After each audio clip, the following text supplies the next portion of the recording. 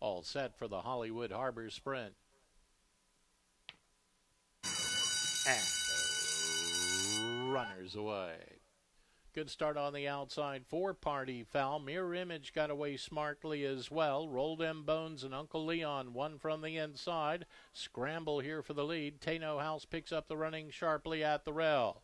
Then Mirror Image, Mr. Fireball up to the outside. Quiet Charm at the tail of the pack as they sprint up the backstretch. The leaders going stride for stride out here. Roll Dem Bones is at the inside. On the outside, Party Foul.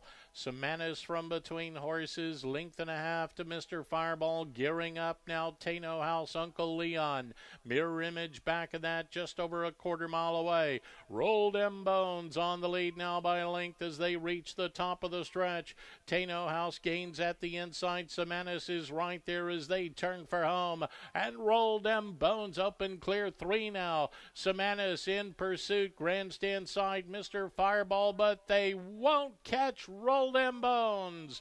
Roll Dem Bones is opened up by a half dozen and wins the Hollywood Harbor Sprint.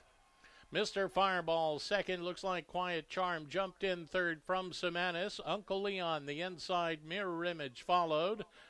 Tano House at the inside and Party Foul.